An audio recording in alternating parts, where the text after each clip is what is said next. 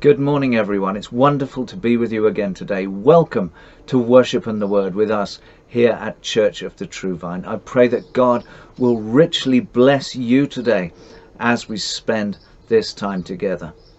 I'm going to begin by reading from Psalm 84. How lovely is your tabernacle, O Lord of hosts! My soul longs, yes, even faints for the courts of the Lord. My heart and my flesh cry out for the living God. Even the sparrow has found a home, and the swallow a nest for herself where she may lay her young. Even your altars, O Lord of hosts, my King and my God. Blessed are those who dwell in your house, they will still be praising you. Blessed is the man whose strength is in you, whose heart is set on pilgrimage. As they pass through the valley of Baca, they make it a spring. The rain also covers it with pools. They go from strength to strength. Each one appears before God in Zion. O Lord God of hosts, hear my prayer. Give ear, O God of Jacob. O God, behold our shield and look upon the face of your anointed. For a day in your courts is better than a thousand. I would rather be a doorkeeper in the house of my God than dwell in the tents of wickedness. For the Lord God is a sun and shield. The Lord will give grace and glory. No good thing will he withhold from those who walk uprightly. O Lord of hosts, blessed is the man who trusts in you. What a wonderful promise from God's word. Blessed is the man who trusts in you. Our God blesses those who trust in him. He is wonderful. We trust in the Lord our God because he has proven himself to be trustworthy. Romans 5:8 tells us that God demonstrates his own love to us in this that while we were still sinners Christ died for us. God doesn't just say that he loves us. He has proved it by giving his son Jesus Christ to die for us on the cross. That is why we know that we can trust every word that he speaks. And he has promised that we may ask anything in the name of Jesus and it will be done. We may ask anything according to his will. We're praying today, as we always do, for the persecuted church. Every week we pray for different nations around the world where Christians are persecuted simply for being followers of Jesus Christ. And today we're praying for Christians in the nation of Mauritania. The World Watch List booklet says this regarding what life is like for Christians in Mauritania. In Mauritania, it is illegal to leave Islam and follow another faith. Converts face extreme pressure for bringing shame on their families. They are likely to be shunned or abused. They may be accused of apostasy in a religious court with severe consequences, or prosecuted for undermining national security by insulting Islam and threatening Mauritania's sacred principles. It is extremely risky for Christians to meet together. Even foreign-born Christians worshipping publicly can be charged with trying to evangelize Muslims. Please join with us later on as we pray together for our brothers and sisters in Mauritania and we continue of course to pray regarding this awful war in Ukraine. But now let's turn our attention to worshipping our God. Come, now is the time to worship. God bless you as we give praise and glory to our Lord this morning. God bless you.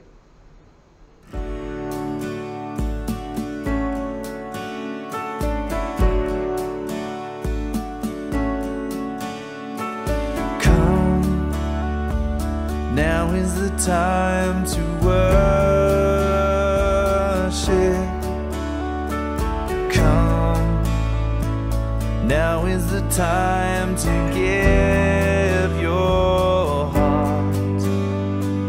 Come, just as you are to worship.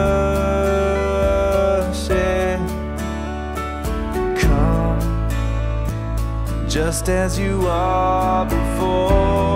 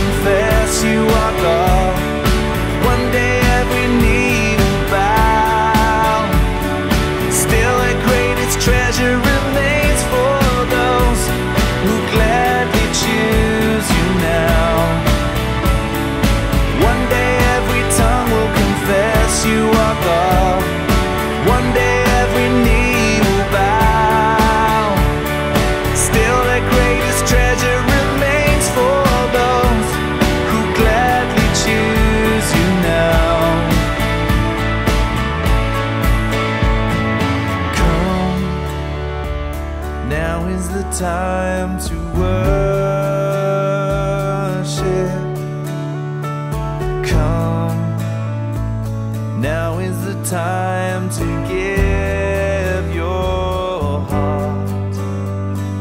Come, just as you are to worship. Come, just as you are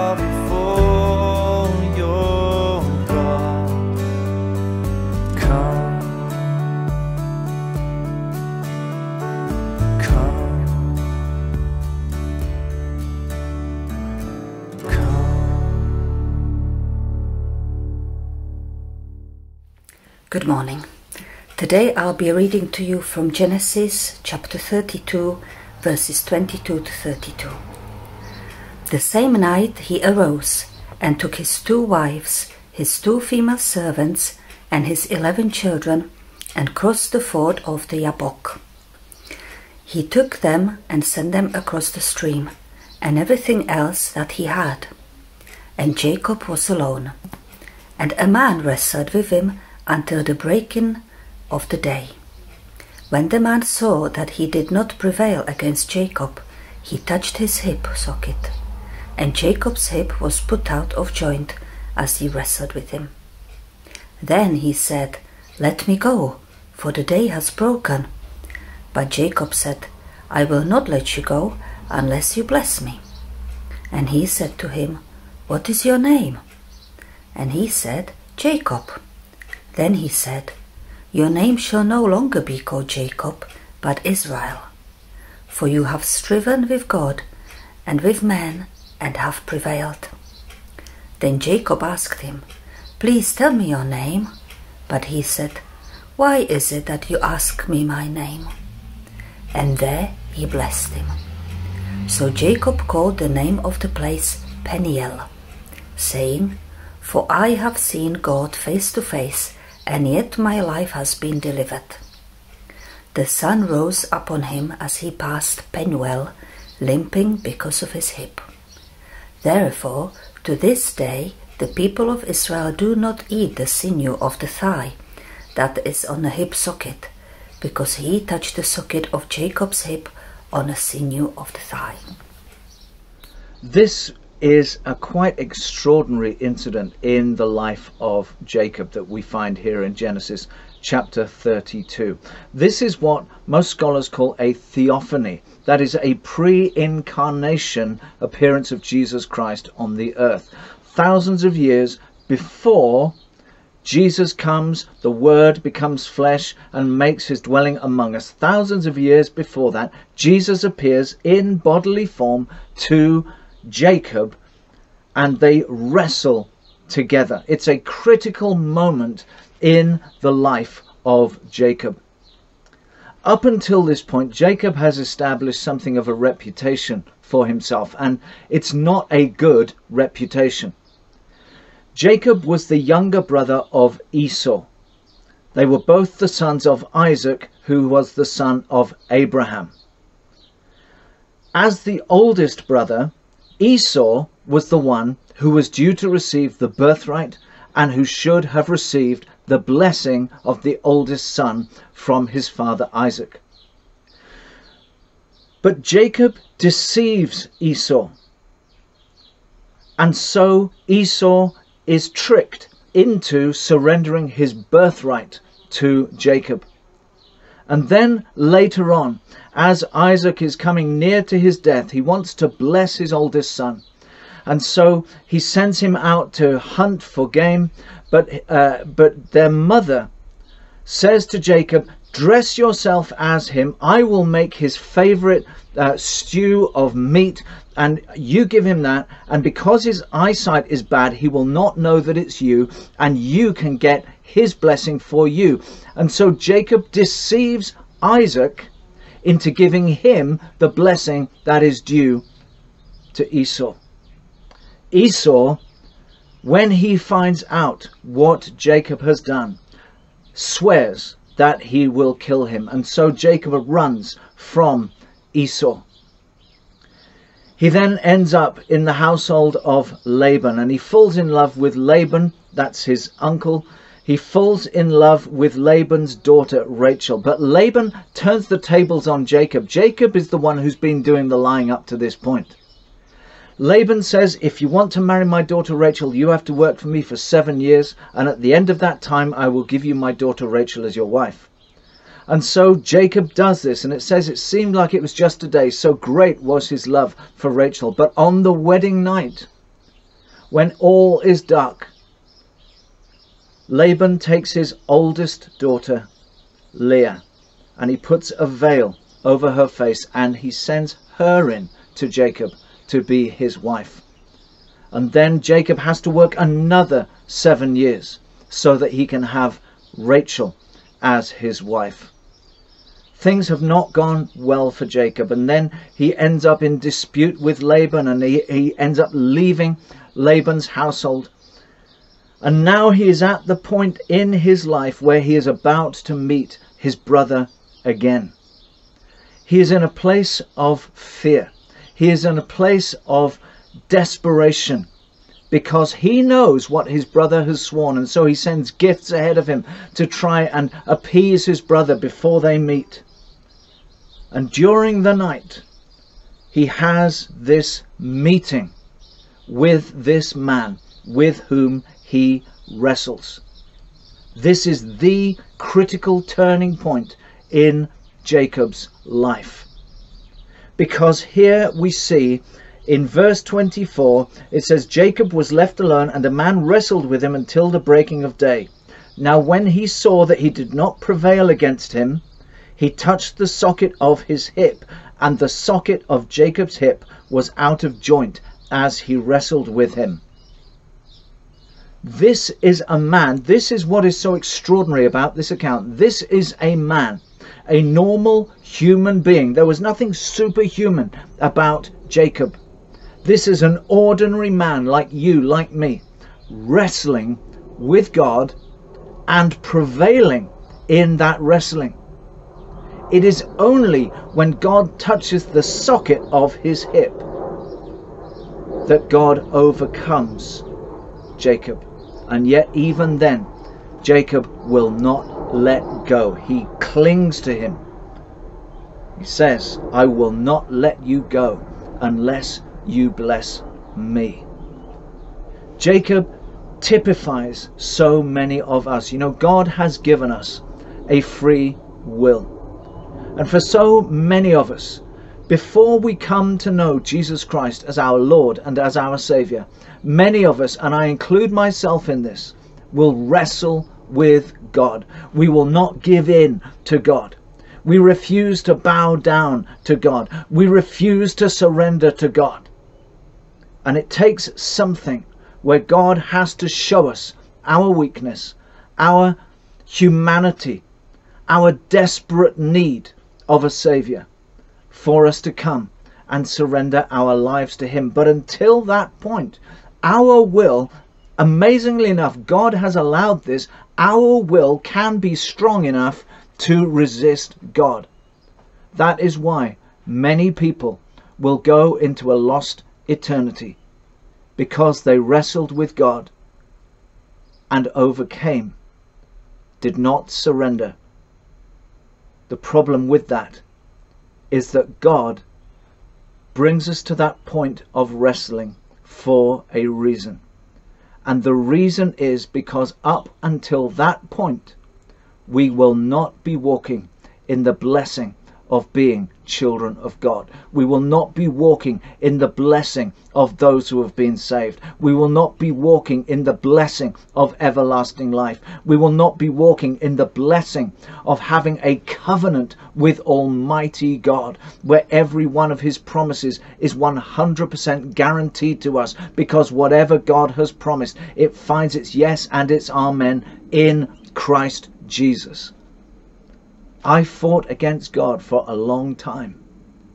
But eventually, He got me to the point where I surrendered my life to Him. And I'm not going to tell you that it's been plain sailing from that point on. But I know now that I have an eternal destiny that is guaranteed. I have a place in heaven. My name is written in the Lamb's book of life. I do not have fear of judgment when I leave this life, and I can walk in the blessing of God in this life. Jesus said, I will never leave you, I will never forsake you. Jesus said, Surely I am with you always, even to the end of the age. What a privilege to walk with God, to have Jesus with you to be reconciled to the Heavenly Father, forgiven of your sin, saved from condemnation in a place called hell. So many people wrestle with God. They refuse to yield their will unto His, and they lose out. Jesus once said, What does it profit a man if he gains the whole world, yet loses his soul. We can cling to what we think is precious in this life. We can cling to what we think is valuable because we think if we surrender to God, we're going to have to give all of that up. If God needs you to give it up, then you shouldn't have it in the first place because it is not the place of true blessing. Once a rich young ruler came to Jesus. He said, What must I do to inherit everlasting life?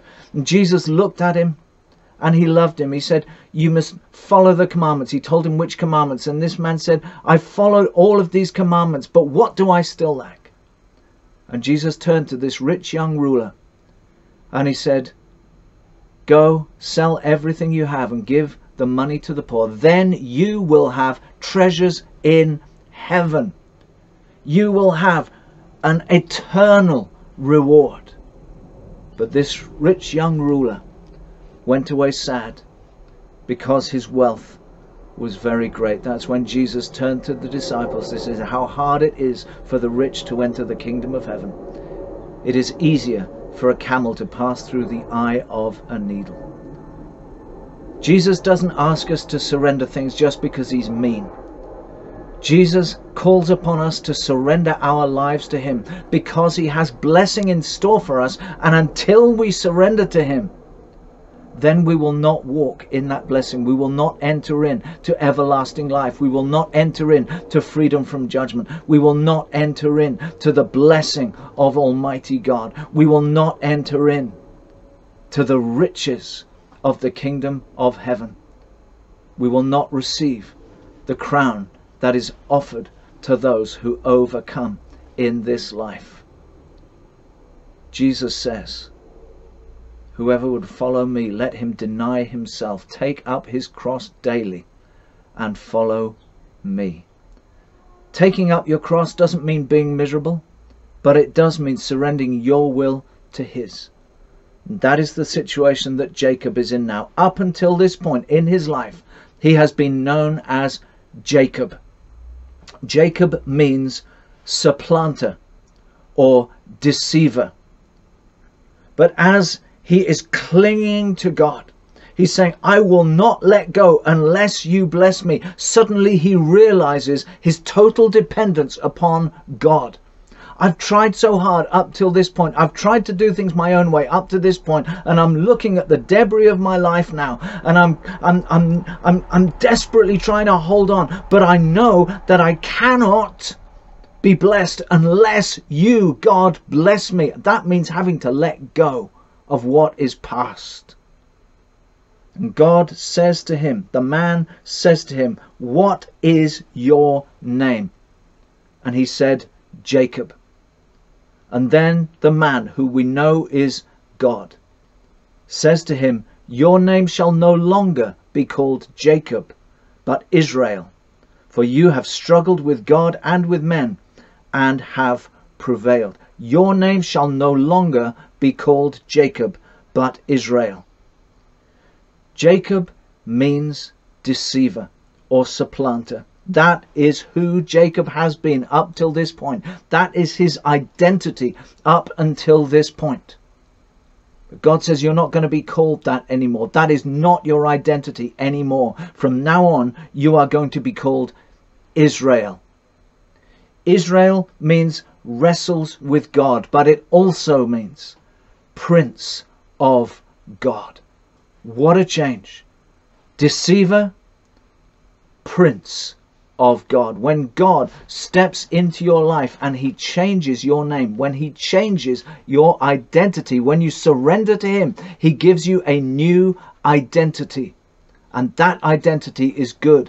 That identity then shapes your entire destiny.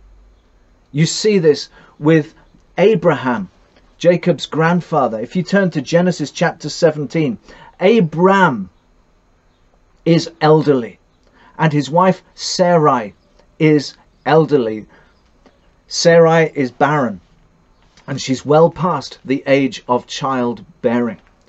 But God promises Abraham, I am going to make your descendants as numerous as the stars of the sky. And if you go to Genesis chapter 17 and verse 4, God says this to Abraham as for me, behold, my covenant is with you, and you shall be a father of many nations. No longer shall your name be called Abram, but your name shall be Abraham. For I have made you a father of many nations. I will make you exceedingly fruitful, and I will make nations of you, and kings shall come from you. How is that possible? Abraham is old, his wife is old and barren. But God changes his name from Abram, which means an exalted father, to Abraham, the father of many nations. He changes his identity. Up until this point, Abram has simply been known as an exalted father. People have known that he's old. People have known that he doesn't have children. That's been his identity. But God gives him a new name, a new identity. And with that new identity comes a blessing, comes a promise that God is going to multiply Abraham's descendants after him, as many as the stars in the sky, if you can count them, as many as the grains of sand on the seashore, if you can count them. That is how many Abraham's descendants will be. And Abraham's wife, Sarai, her name means my princess. My princess. The princess of Abram, belonging to one man. But God says, I'm going to change your name to Sarah. Sarah. If you go to verse 15 of Genesis 17, it says, God said to Abraham, As for Sarai, your wife, you shall not call her name Sarai, but Sarah shall be her name, and I will bless her, and also give you a son by her. Then I shall bless her, and she shall be a mother of nations. Kings of peoples shall be from her. From this moment on, from the moment that God changes her name from Sarai to Sarah, now she conceives, she gives birth to a son, and through her the promise to Abraham is fulfilled as she becomes princess, the princess. Change of name means a new identity, it means a new destiny. When we wrestle with God, when we try to cling on to our own reputation, when we try to cling on to our own way, when we try to cling on to our own style of doing things, when we try to cling on to our traditions, when we try to cling on to anything that would hold us back, God comes. He wrestles with us and he says, Will you surrender? Will you surrender? He's not doing it because he's got it in for you. He's doing it because he longs to bless you. But until you surrender your will to his, you will not enter in to the fullness of the destiny that God has for you. God says, I know the plans I have for you. Plans to bless you and not to harm you. Plans to prosper you. Plans for good and not for harm. But we have to surrender to Him. I have learnt through my Christian life that when you try to do things your own way, it doesn't work. But when you surrender, when you yield to Him, when you say, God, I'm not letting go of you until you bless me. I'm not going to seek my own blessing. I'm not going to try and make it all happen for myself. I'm not going to try and make myself successful. I'm not going to try and make myself great. I'm not going to try and live life according to my own way anymore. I'm clinging to you now, Lord, and I'm not letting go because I need that blessing from you. When you come to that point, God says, now you're ready to walk in my blessing. Now you are ready to walk in my purpose. Now you are ready to, to fulfill the commission, the calling, the blessings that I have placed upon your life. Now you are a child that I can use. Now I can bless you. Now I can bless you. If you're wrestling with God today, maybe you're wrestling because you know that what Jesus says is true, but you still want to cling to your own way of life. If you do that, you will be lost. But if you come and surrender to Jesus, then you will discover for yourself the richness and the blessing that comes in following him, and you will receive the gift of everlasting life. If you are a follower of Jesus, but he's calling you to drop something, to give something up, to yield something to Him, but it's precious to you. Know today that if you will surrender it to Him, even things that have been blessed, even things that have been good, and God's saying, time to let that go.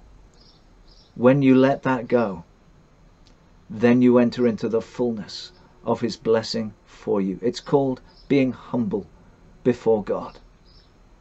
Anything other than that is called being stiff-necked. God says, I give grace to the humble, but the proud I look upon from afar. Yield to God. If you're at a point in your life when you are wrestling with Him, yield. Surrender to Him. I guarantee you, you will not lose out. Even though your flesh might be screaming at you, you will not lose out. Because when you yield to God, you open yourself up to a new destiny. Jacob went from the identity of the deceiver, the supplanter, to the destiny of Prince of God. Yield to the Lord and see what the Lord will do.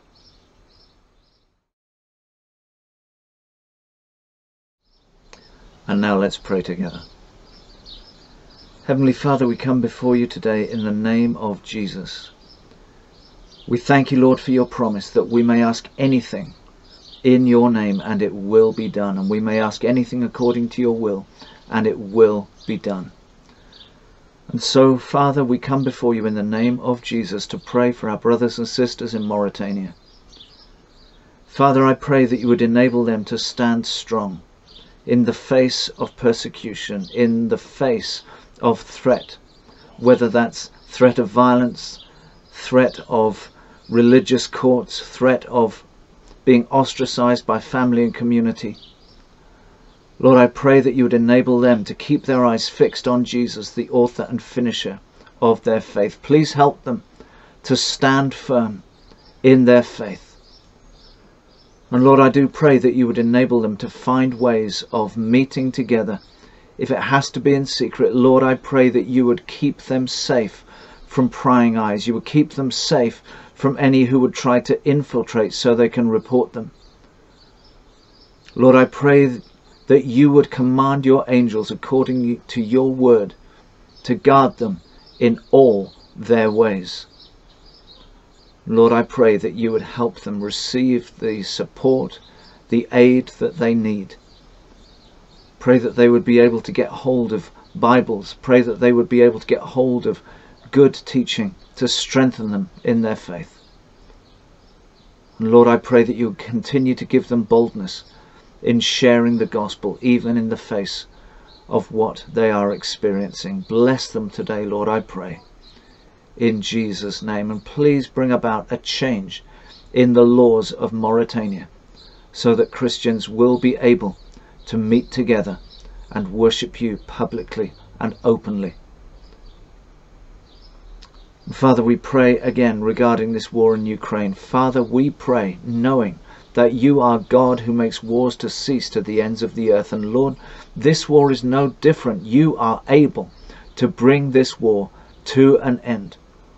So, Lord, that is what we're asking for. We pray that you would bring this war to an end, that you would cause hostilities, conflict to cease in Jesus' name, that no more blood would be shed, that no more innocent lives would be lost. Lord, we pray that evil would not be seen to triumph. Where evil has flourished, Lord, we pray that you would bring it down. Lord, may righteousness truth, and good be seen to prevail. Most of all, though, Father, we pray that this war would come to an end, that you would cause it to come to an end. We ask it in the name of Jesus. Amen. Amen. Thank you for joining us today. It's been great having you with us. I pray that you have been blessed if there's anything that you would like prayer for, then please do get in touch. We would love to pray with you, pray for you, and help you in whatever way we can. Most of all, if you want to know more about what it is to be a Christian, what it is to be a follower of Jesus Christ, then please get in touch. I can guarantee you one thing following Jesus can be hard, following Jesus can be difficult, but it is only through Jesus Christ that we may receive everlasting life. Jesus said, I am the way, the truth, and the life. And if you would like to know how to receive Jesus as your Lord and your Savior, then please just get in touch. Maybe you're ready to take that step right now.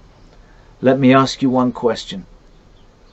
Do you believe in your heart that God has raised Jesus from the dead? If you do, truly believe that, then I would ask you to do one more thing. That is to confess Jesus as Lord. That doesn't just mean saying it out loud. It means taking what you believe in your heart that God has raised Jesus from the dead and saying, because of that, I will commit myself to following Jesus for the rest of my days. He is now my Lord and I will follow him. I will confess him publicly as my Lord, no matter what, for the rest of my days. If that's you, then I can help you by praying a prayer. Praying this prayer in itself will not save you. It's just to help you. If you believe in your heart God has raised Jesus from the dead, and if you are truly willing to confess him as Lord and follow him for the rest of your days. So let's pray. Heavenly Father, I believe that you gave your Son, Jesus Christ, to die for me. I thank you, Jesus, that you are the Son of God who entered into this dark world, lived a sinless life, but then laid down your life on the cross for me. I know that I am a sinner. I know that I cannot save myself. But Lord Jesus, I thank you that you have died my death for me. You have taken all the punishment for my sin as you shed your blood on the cross for me. I believe that you are risen from the dead. I believe it with all my heart.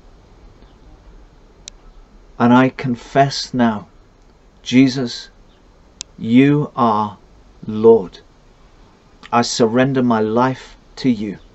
I commit myself as far as I am able to follow you, to love you, to serve you for the rest of my days, confessing you as my Lord. And I ask you to fill me with your Holy Spirit to enable me, to strengthen me as I follow you. I turn away from my old life.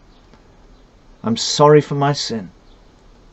I ask you to wash me clean and make me fit for the kingdom of heaven. Lord Jesus, thank you for hearing this prayer and for saving me as I believe in you.